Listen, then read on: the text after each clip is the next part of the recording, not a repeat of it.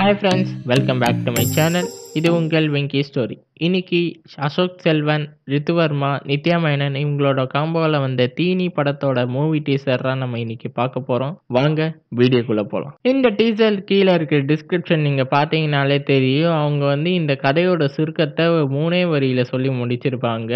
அதை வந்து நான் உங்களுக்கு வந்து அந்த இமேஜை காட்டுறேன். நீங்கள் பாருங்கள் அதுக்கப்புறம் நான் இதில் எனக்கு என்ன புரிஞ்சிருந்ததை நான் உங்களுக்கு சொல்கிறேன் இதை பார்த்தோன்னே எனக்கு ஃபஸ்ட்டு தோணினது இங்கே அனிமேஷன் படத்தில் வந்த ரேட்டட்டூலியோட படத்தை தான் எனக்கு ஃபஸ்ட் ஞாபகத்தில் வந்தது. ஏமா அதுலேயும் ஒரு நல்ல செஃப் இருப்பார். அந்த செஃப்பில் அந்த ஹோட்டலில் நல்லா பண்ணிட்டு இருக்க ஒரு ச எம்ப்ளாயி வந்து இதே மாதிரி ஏதோ ஒரு இதில் இருப்பான். பட் ஆனால் அவனால் சரியாக சமைக்க முடியாது. அதுக்கு உதவியாக அவனுக்கு ஒரு எலி கிடைக்கும். பட் ஆனால் இதில் வந்து அதோட கதையை கொஞ்சம் டிஃபராக இருக்கும் பட் ஆனால் எனக்கு பார்த்தோன்னே ஃபஸ்ட்டு விஷுவல்ஸு ஒவ்வொரு விஷுவல்ஸாக இருக்கட்டும் எல்லாமே எனக்கு ஃபஸ்ட்டு அந்த அந்த படத்தை தான் எனக்கு ஞாபகப்படுத்திச்சு.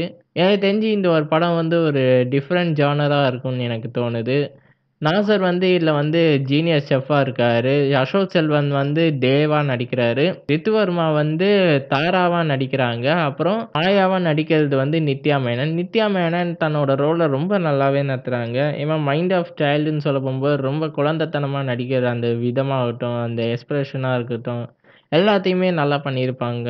ரிதுவர்மா அவங்களோட போர்ஷன்ஸை ரொம்ப அழகாகவே கவர் பண்ணியிருப்பாங்க. அசோக் செல்வன் சொல்லவே வேணாம். இந்த வாட்டி அசோக் செல்வன் ஃபிட்னஸாக இல்லாமல் தொப்பை போட்டு ஒரு செஃப் மாதிரியே இந்த வாட்டி நடிச்சிருப்பார். அதே போல் மசில்ஸ் ஃபேஷன் சொல்ல போகும்போது ஒவ்வொரு இடத்துலையும் அந்த மசில்ஸ் ஸ்பேசமாக இருக்கட்டும். அது பார்த்தோன்னே நம்மளுக்கு சிரிப்பு வராது. பட் ஆனால் அதோட நடிப்பு திறமையால் ரொம்ப கவர் பண்ணியிருப்பார் ஒவ்வொரு இடத்துலையும். நாசர் தன்னோட ரோல் எப்பயுமே எப்பயும் போல் நல்லா பண்ணியிருப்பார்.